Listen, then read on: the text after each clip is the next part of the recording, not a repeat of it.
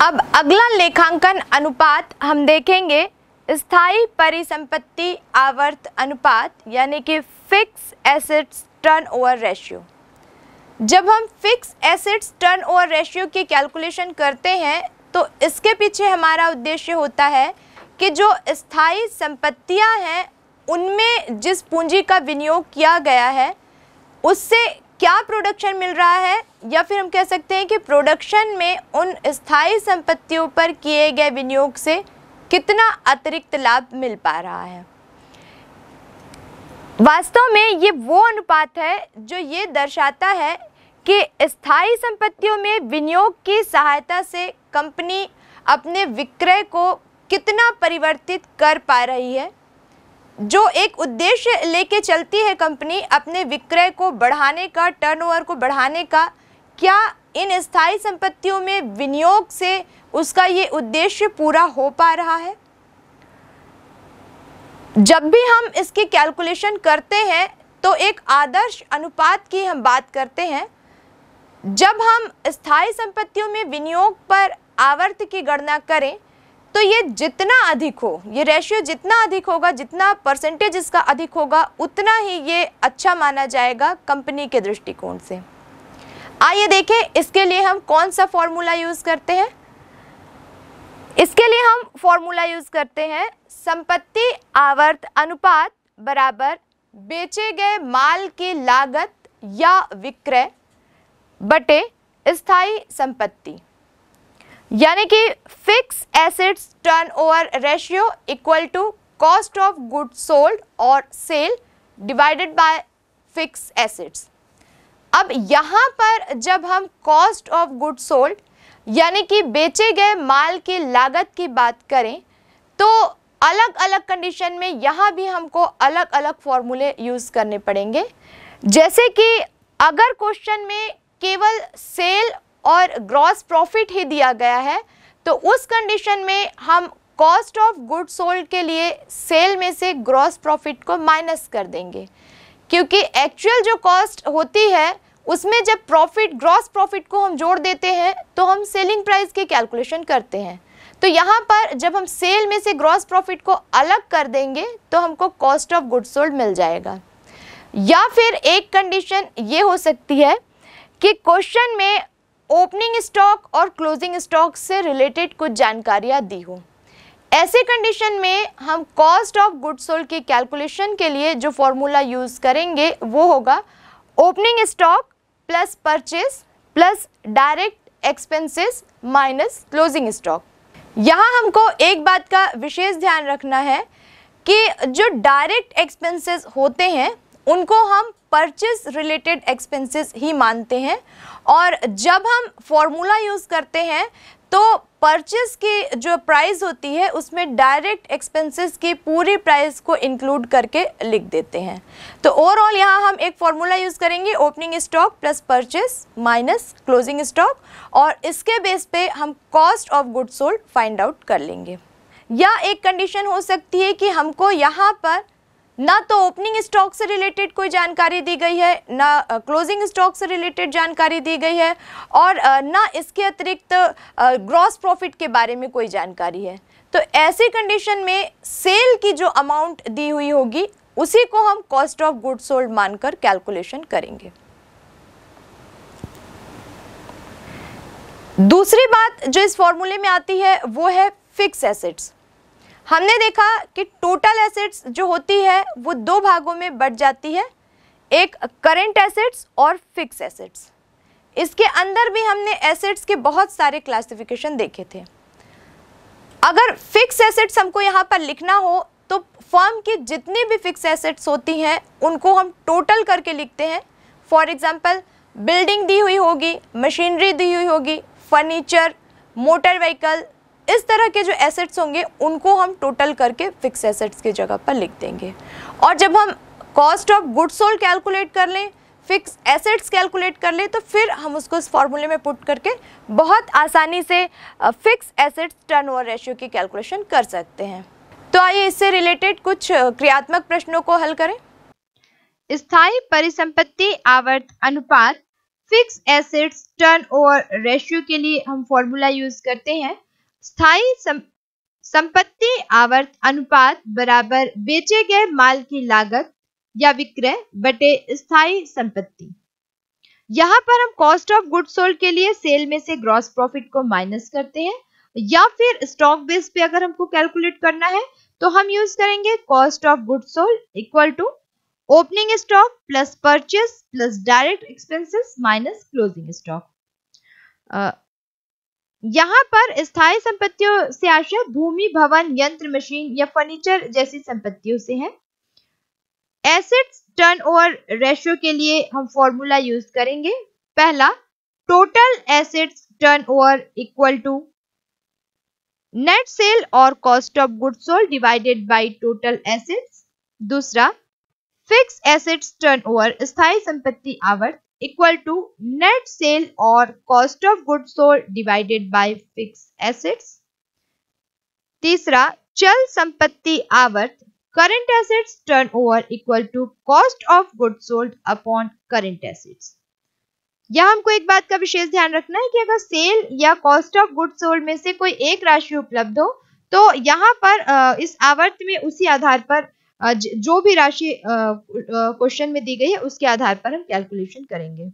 और अगर cost of good sold और सेल दोनों दे दिया गया हो तो ऐसी कंडीशन में हम दोनों आधार पर यहाँ पर आवर्त कैलकुलेट करेंगे। लेकिन चल संपत्ति आवर्त जो है, वो कॉस्ट ऑफ़ गुड सोल्ड के बेस पे ही कैलकुलेट करनी चाहिए। पूंजी आवर्त अनुपात कैपिटल टर्न ओवर रेशियो पूंजी आवर्त अनुपात के लिए हम फॉर्मूला यूज़ करेंगे। पूंजी आवर्त अनुपात बराबर बेचे गए माल की लागत या विक्रय बटे कुल पूंजी। Capital turnover ratio equal to cost of good sold और sale divided by total capital total capital या विनियोजित पूंजी कैलकुलेट करने के लिए हम किन किन मदों को जोड़ेंगे और घटाएँगे? आइए देखते हैं। समता equity share capital plus preferential share capital plus reserve and surplus of profit and loss account plus securities premium plus loan uh, loan for machinery plus long term loan minus minus fictitious assets minus operating assets minus minus reserves loss From the following information, calculate first net assets turnover, second fixed assets turnover, and third capital from and third working capital turnover ratio.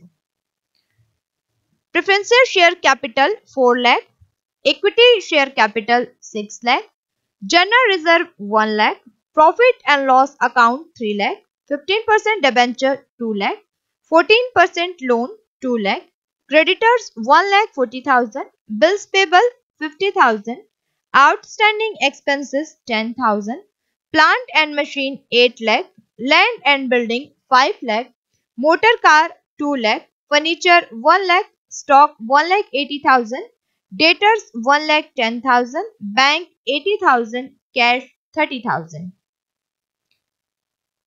यहाँ पर sale for the year 2005 where 30 lakh यहाँ पर हमको आ, तीन चीज़ों की गणना करनी है। एक तो नेट एसेट्स टर्नओवर दूसरा फिक्स एसेट्स टर्नओवर और तीसरा वर्किंग कैपिटल टर्नओवर तो यहाँ हम सबसे पहले देखेंगे कि हमको आ, किन किन चीज़ों की ज़रूरत है।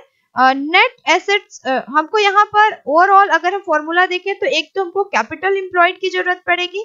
फिक्स एसेट्स की ज़रूरत पड़ेगी और वर्किंग कैपिटल की ज़रूरत पड़ेगी। तो सबसे पहले यहाँ हम कैपिटल एम्प्लॉयड कैलकुलेट कर लें। हमने देखा कि कैपिटल एम्प्लॉयड में कौन कौन सी चीज़ें शामिल होती हैं? तो उनमें से share capital reserve and surplus and long term debt या फिर जिसे हम नेट एसेट्स कहते हैं इसको हम इसमें शामिल करते हैं। तो क्वेश्चन में शेयर कैपिटल दिया गया है फोर लैख का रिज़र्व एंड सरप्लस दिया गया है सिक्स लैख का लॉन्ग टर्म डेट जो है वो दिए गए हैं वन लैख के और थ्री uh, लैख का। तो टोटल यहाँ पर हमारा जो कैपिटल एम्प्लॉयड हो जाता है वो हो जाता है एटीन लैख का। तो यहाँ पर हम देखें कि तो कैपिटल एम्प्लॉयड के कैलकुलेशन में हम देख रहे हैं कि शेयर कैपिटल हमको दिया गया है फोर लैख का।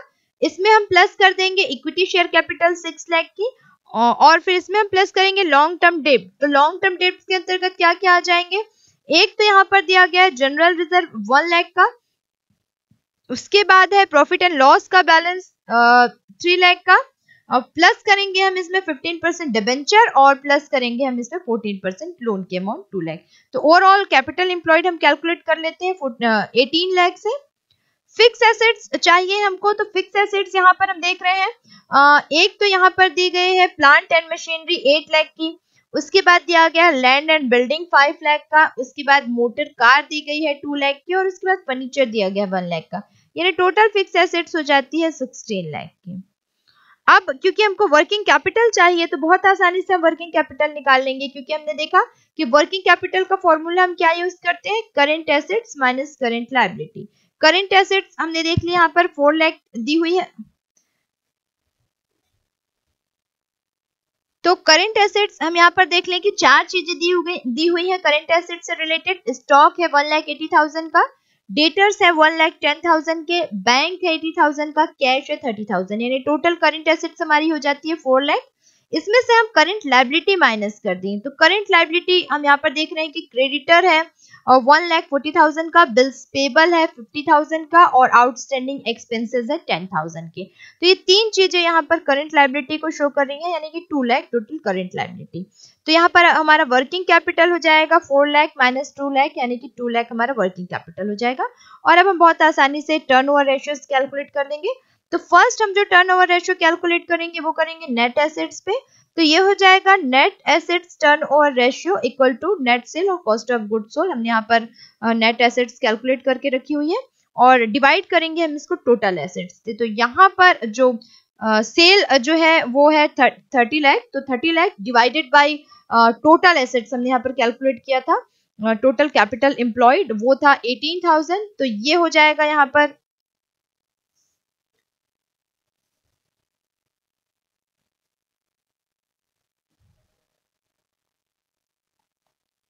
तो यहाँ सबसे पहले हमको कैलकुलेट करना है नेट एसेट्स टर्न और रेशियो जिसका कि फॉर्मूला हम यहाँ पर लिखते हैं कॉस्ट ऑफ़ गुड्स सोल्ड या फिर sale divided by total capital employed तो यहाँ पर हमने देखा क्वेश्चन में कि 30 लाख की टोटल सेल दी हुई है तो 30 lakh divided by capital employed हमने फाइंड आउट किया था फ़र्स्ट स्टेप में 18 लाख उससे हम इसको डिवाइड कर देंगे तो यह आ जाएगा 30 लाख डिवाइडेड बाय 18 लाख यानी 1.67 टाइम सेकेंड हमको यहाँ कैलकुलेट करना है फिक्स एसेट टर्नओवर रेशियो तो इसका फॉर्मूला हमने देखा था नेट सेल और cost of good sold divided by fix assets तो नेट सेल यहाँ पर हमको दी गई है, उसके बेस पे हम कैलकुलेट कर लेंगे।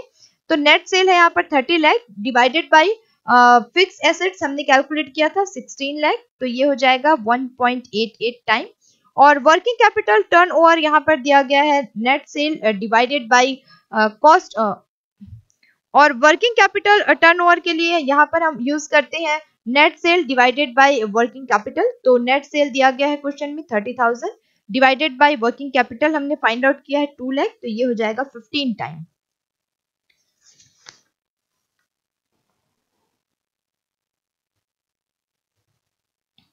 From the following data, calculate stock turnover ratio. First, stock at the beginning of the year 25,000. Stock at the end of the year 15,000. Purchase 70,000. Wages 3,000. Carriage inward 2,000. Second, opening stock 29,000. Closing stock 31,000. Sale 2,53,500. Gross profit at the rate of 30% on sale. यहाँ पर हमको calculate करना है stock turn over ratio और stock turnover ratio के लिए हमको दो चीज़ें चाहिए नेट सेल और एवरेज स्टॉक तो ये दोनों चीज़ें हमको यहाँ पर फाइंड आउट करनी पड़ेगी। नेट uh, सेल के लिए सबसे पहले तो हम यहाँ पर क्योंकि एक तो बताया गया है uh, कि ओपनिंग uh, स्टॉक कितना था परचेस कितना किया और कौन कौन से उसमें एक्सपेंसेस दिए तो इसके बेस पे हम पहले cost of goods sold calculate कर लेंगे। तो ये हो जाता है हमारा cost of good sold equal to opening stock plus purchase plus wages है प्लस कैरेज इन्वॉल्व है, और इसमें हम माइनस कर दे क्लोजिंग स्टॉक तो ये हमारा हो जाएगा कॉस्ट ऑफ़ गुड सोल्ड बेचे गए माल की लागत। तो ओपनिंग स्टॉक है twenty five thousand purchase purchase है सेवेंटी थाउज़ेंड वेजेस है थ्री थाउज़ेंड कैरेज इनवर्ड है टू थाउज़ेंड और इसमें हम माइनस कर देंगे क्लोजिंग स्टॉक फिफ्टीन थाउज़ेंड तो ये आ जाएगा eighty five thousand cost of good sold अब ये हमने कॉस्ट ऑफ़ गुड सोल्ड तो कैलकुलेट कर ली। अब हमको चाहिए एवरेज स्टॉक तो एवरेज स्टॉक हमने पहले भी देखा था एवरेज स्टॉक का formula opening stock plus closing stock upon two तो ओपनिंग स्टॉक यहाँ पर है ट्वेंटी फाइव थाउज़ेंड और क्लोजिंग स्टॉक है fifteen thousand divided by two तो ये हो जाएगा forty thousand divided by two यानी कि ट्वेंटी थाउज़ेंड एवरेज स्टॉक अब हम stock turn over ratio calculate कर लेंगे. Net sale divided by average stock तो ये हो जाएगा eighty five thousand upon twenty thousand four point two five time second condition में जबकि कॉस्ट ऑफ़ गुड सोल्ड तो स्टॉक टर्नओवर के रेशियो के लिए हमको चाहिए कॉस्ट ऑफ़ गुड सोल्ड और एवरेज स्टॉक तो कॉस्ट ऑफ़ गुड सोल्ड की कैलकुलेशन के लिए हम करेंगे opening stock plus purchase plus wages plus carriage inward और उसमें हम माइनस कर देंगे क्लोजिंग स्टॉक सेकेंड यहाँ पर भी हमको स्टॉक टर्न ओवर रेशियो ही कैलकुलेट करना है तो कॉस्ट ऑफ़ गुड सोल्ड पहले हम कैलकुलेट कर लेंगे और यहाँ कॉस्ट ऑफ़ गुड सोल्ड के लिए हमको अलग फॉर्मूला लगाना पड़ेगा, क्योंकि यहाँ पर हमको सेल और ग्रॉस प्रॉफिट दिया गया है। तो सेल जो है वो two lakh fifty three thousand five hundred है और इसमें थर्टी परसेंट जो है वो ग्रॉस प्रॉफिट है। तो इसका two lakh fifty three thousand five hundred का थर्टी परसेंट हम ग्रॉस प्रॉफिट इसमें से माइनस कर देंगे। यानी जो सेल होती है, उसमें अगर ग्रॉस प्रॉफिट को माइनस कर दिया जाए तो जो डिफरेंस बचता है, यानी वो कॉस्ट ऑफ़ गुड्स हो रहा होगा। क्योंकि हम देखते हैं कि सेल जब हमको कैलकुलेट करनी पड़ती है तो हम कॉस्ट ऑफ़ गुड्स सोल्ड में प्रॉफिट को जोड़ देते हैं। जो भी माल बनाने की लागत आती है, उसमें प्रॉफिट को जोड़ने के बाद जो अमाउंट आती है, वही अमाउंट जो है वो विक्रय मूल्य उसी पर निर्धारित किया जाता है। तो यहाँ पर कॉस्ट ऑफ़ गुड सोल्ड हो जाएगा सेल माइनस ग्रॉस प्रॉफिट यानी two lakh fifty three thousand five hundred और इसका थर्टी परसेंट यानी कि सेवेंटी सिक्स थाउज़ेंड फिफ्टी यानी one lakh seventy seven thousand four hundred fifty तो ये हमने cost of good sold calculate कर ली, अब हम एवरेज स्टॉक कैलकुलेट कर लेंगे। तो एवरेज स्टॉक का हमने फॉर्मूला देखा opening stock plus closing stock divided by two तो ओपनिंग स्टॉक है हमारा ट्वेंटी नाइन थाउज़ेंड और क्लोजिंग स्टॉक है thirty one thousand divided by two यानी sixty thousand divided by two यानी थर्टी थाउज़ेंड तो यहाँ हमने कॉस्ट ऑफ़ गुड सोल्ड और एवरेज स्टॉक दोनों कैलकुलेट किया। अब हम निकालेंगे स्टॉक टर्नओवर रेशियो जो कि हो जाएगा cost of good sold upon average stock यानी one lakh seventy seven thousand four hundred fifty divided by thirty thousand five point nine one five times Stock turnover ratio is 6 time. Cost of goods sold is 2 lakh 40,000. Stock in the beginning is rupees 10,000 more than the stock in the end. Calculate stock in the beginning and and at the end. यहाँ पर हमको बताया गया है कि जो stock turnover ratio है already बता दिया गया है कि वो छह गुना है यानी अब तक हम जिसकी कैलकुलेशन कर रहे थे, वो कैलकुलेट करके दे दिया गया है। स्टॉक टर्न ओवर रेशियो जो है, वो छह गुना है सिक्स टाइम है। कॉस्ट ऑफ़ गुड सोल्ड बेचे गए माल की लागत बता दी गई है, दो लाख चालीस हज़ार। प्रारंभ में स्टॉक जो है, वो अंत के स्टॉक से दस हज़ार अधिक है। यानी कि ओपनिंग स्टॉक जो है, वो क्लोजिंग स्टॉक से टेन थाउज़ेंड ज़्यादा है। तो कितना रहा होगा? ये हमको कैलकुलेट करना है। और यहाँ पर हमको बोला है कि opening and closing stock calculate करो। तो चलो, सबसे पहले तो हमको जो चीज़ें दी गई है, उससे, उसके बेस पे हम चलते हैं कि कहाँ तक हम पहुँच पाते हैं। तो सबसे पहले हम देख रहे हैं कि हमको पता है stock turn over ratio six है। तो हम फॉर्मूला यहाँ पर लगाएँगे stock turn over ratio equal to cost of good sold upon average stock तो स्टॉक टर्न ओवर रेशियो है six equal to cost of good sold है two lakh forty thousand upon average stock नहीं है, ये हम find out करेंगे। Cross multiplication करते हैं हम, इधर आ जाता है six into average stock equal to two lakh forty thousand और एवरेज स्टॉक कैलकुलेट हम करते हैं तो हो जाता है two lakh forty thousand upon six यानी फोर्टी थाउज़ेंड तो एवरेज स्टॉक हमको मिल गया फोर्टी थाउज़ेंड अब एवरेज स्टॉक क्या होता है? हमने देखा opening stock plus closing stock divided by two तो अब हम क्लोजिंग स्टॉक कैलकुलेट कर लें। हम ये मान लेते हैं कि ओपनिंग uh, स्टॉक जो है वो एक्स है और क्लोजिंग स्टॉक से वो दस अधिक दस हज़ार अधिक है। यानी कि अगर ओपनिंग स्टॉक एक्स है तो क्लोजिंग स्टॉक कितना होगा? एक्स प्लस टेन थाउज़ेंड और टोटल जो है वो एवरेज स्टॉक जो है वो तो हमने कैलकुलेट कर लिया है कि फोर्टी थाउज़ेंड है। तो ये हो जाएगा forty thousand equal to x plus ten thousand plus x upon two cross multiplication हम करेंगे फोर्टी थाउज़ेंड इंटू टू यानी एटी थाउज़ेंड और यहाँ पर जब हम ब्रैकेट सॉल्व करेंगे तो ये हो जाएगा x प्लस एक्स यानी टू एक्स और ten thousand two x plus ten thousand फिर हम यहाँ पर देखेंगे two x plus ten thousand यहाँ पर है टू एक्स को अगर हम यही रहने दें और टेन थाउज़ेंड को हम पक्षांतर करके एटी थाउज़ेंड के पास ले आए तो ये हो जाएगा eighty thousand minus ten thousand equal to two x. या फिर हम इसको लिखें two x equal to eighty thousand minus ten thousand. तो ये हो जाएगा two x equal to seventy thousand और x इक्वल टू हो जाएगा सेवेंटी थाउज़ेंड अपॉन टू, यानी कि थर्टी फाइव थाउज़ेंड। हमको x की वैल्यू मिल गई थर्टी फाइव थाउज़ेंड, यानी क्लोजिंग स्टॉक हमने ज्ञात कर लिया थर्टी फाइव थाउज़ेंड। तो ओपनिंग स्टॉक जो है वो क्लोजिंग स्टॉक से टेन थाउज़ेंड ज़्यादा है। यानी कि ओपनिंग स्टॉक जो है वो x प्लस टेन थाउज़ेंड है। तो x की वैल्यू हमने फाइंड आउट कर ली thirty five thousand plus ten thousand अगर हम कर देते हैं तो फोर्टी फाइव थाउज़ेंड हमको क्लोजिंग स्टॉक की वैल्यू मिल जाएगी।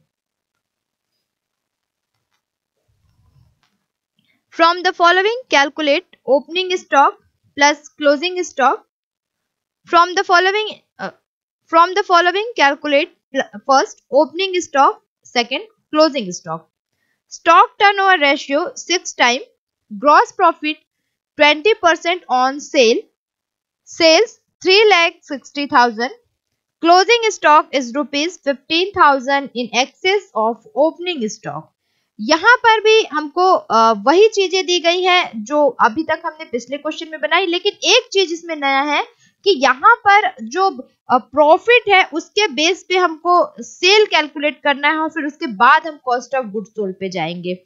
एक महत्वपूर्ण चीज़ जो दी गई है, वो है स्टॉक आवर्त अनुपात, यानी स्टॉक टर्न ओवर रेशियो दिया गया है और इसी को बेस मान के, इसी को पकड़ के हम बाकी चीज़ कैलकुलेट कर लेंगे। तो तो चलिए, सबसे पहले हम स्टॉक टर्न ओवर रेशियो के आधार पे देखते हैं कि हम क्या क्या फाइंड आउट कर सकते हैं।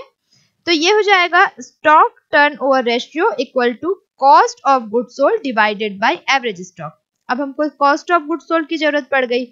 तो cost of good sold calculate कर ले।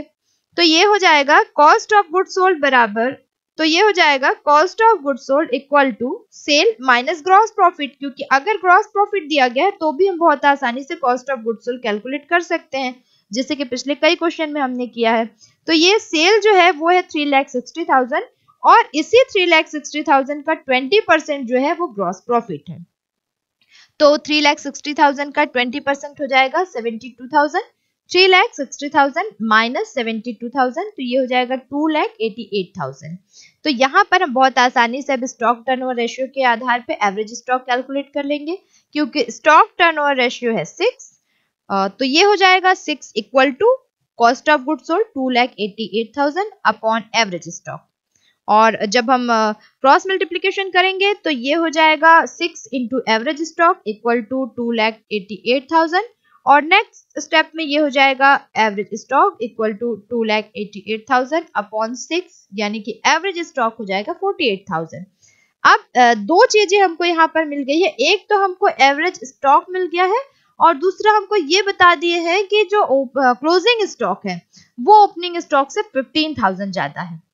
तो यहाँ पर भी हम ओपनिंग स्टॉक को मान लेते हैं एक्स अब एवरेज स्टॉक का क्या फॉर्मूला है? Average stock equal to opening stock plus closing stock upon two तो यहाँ पर हम लिखेंगे एवरेज स्टॉक यानी forty eight thousand equal to opening stock यानी एक्स प्लस क्लोजिंग स्टॉक यानी x plus fifteen thousand upon two और फिर हम क्रॉस मल्टीप्लीकेशन करेंगे forty eight thousand into two और equal to x plus x यानी two x plus fifteen thousand तो ये हो जाएगा ninety six thousand equal to two x plus fifteen thousand और फिर नेक्स्ट स्टेप में हो जाएगा 96,000 माइनस फिफ्टीन थाउज़ेंड जब फिफ्टीन थाउज़ेंड का पक्षांतर करेंगे तो और या फिर हम इसको लिख सकते हैं two x equal to ninety six thousand minus fifteen thousand यानी two x equal to eighty one thousand और x equal to eighty one thousand upon two यानी फोर्टी थाउज़ेंड फाइव हंड्रेड अब x की वैल्यू हमने find out कर ली forty thousand five hundred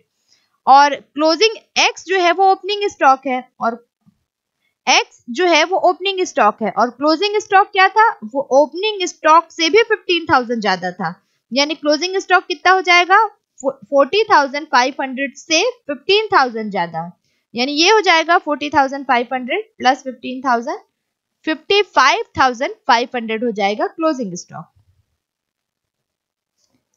calculate debtors turn over ratio and average debt collection period for the year 2001 and 2002 from the following information sundry debtors first April 2001 thousand one March 2002 thousand bills receivable first April 2001 5,000 31st March 2002 15,000 Provision for doubtful debts 1st April 2001 3500 31st March 2002 4500 Total sale 3 lakh 70000 Sales return 10 lakh Cash sale 60000 इस प्रश्न में हमको जो calculate करना है दो point वो है डेटर्स टर्न ओवर रेशियो और दूसरा एवरेज डेट कलेक्शन पीरियड ये नए पॉइंट्स हैं यहाँ पर जानकारी हमको जो दी गई है, वो opening debtors closing debtors and opening देनदार और क्लोजिंग देनदार की दी गई है। Opening bills receivable closing bills receivable की दी गई है। और opening doubtful debts and closing doubtful debts का संदिग्ध ऋण हेतु प्रावधान का प्रारंभिक और अंतिम जो बैलेंस है, वो दिया गया है। साथ में हमको मालूम है कि विक्रय कितना है, विक्रय वापसी कितना है और इसमें से नगद विक्रय कितना है। हमने देखा कि डेटर्स टर्न ओवर रेशियो की कैलकुलेशन के लिए हमको दो चीज़ें चाहिए। एक तो नेट क्रेडिट सेल और और दूसरा एवरेज क्रेडिट कलेक्शन पीरियड के लिए हमको चाहिए डेटर्स टर्नओवर रेशियो तो सबसे पहले तो हम ये देख ले कि डेटर्स टर्नओवर रेशियो कैसे निकालें और इसके लिए हम नेट क्रेडिट सेल और एवरेज डेटर्स कैसे निकालें। तो सबसे पहले हम निकालेंगे नेट क्रेडिट सेल अब क्योंकि इस क्वेश्चन में टोटल सेल दी गई है सेल्स रिटर्न दिया गया है कैश सेल दी गई है। इन तीनों टॉपिक इन तीनों पॉइंट्स के आधार पर हम बहुत आसानी से क्रेडिट सेल कैलकुलेट कर लेंगे। टोटल सेल है थ्री लैख सेवेंटी थाउज़ेंड इसमें से सेल्स रिटर्न हो गया है टेन थाउज़ेंड तो थ्री लैख सेवेंटी थाउज़ेंड में हम टेन थाउज़ेंड माइनस कर दे। ये है टोटल सेल टोटल सेल मतलब होता है कैश प्लस क्रेडिट तो total sale three lakh sixty thousand में से सिक्सटी थाउज़ेंड जो है वो कैश सेल है। यानी बाकी जो बचा वो क्रेडिट सेल है। तो three lakh seventy thousand minus ten thousand minus sixty thousand यानी net credit sale is equal to three lakh ये हमने नेट क्रेडिट सेल निकाल लिया। अब हम निकाल लें एवरेज डेटर तो बहुत आसानी से हम निकाल लेंगे। एवरेज डेटर्स के लिए हम फॉर्मूला यूज़ करते हैं। Opening debtors minus closing debtors तो डेटर कौन है हमारे यहाँ पर? एक तो जो डेटर्स दिए गए हैं वो और दूसरा जो बिल्स रिसीवेबल है वो दोनों ही हमारे डेटर्स होते हैं। तो यहाँ पर हम ओपनिंग डेटर्स और क्लोजिंग डेटर और ओपनिंग बिल्स रिसीवेबल और क्लोजिंग बिल्स रिसीवेबल दोनों के आधार पे एवरेज डेटर्स निकालेंगे। तो ओपनिंग डेटर्स है हमारे 35,000 के और ओपनिंग बिल्स रिसीवेबल है 5,000 का।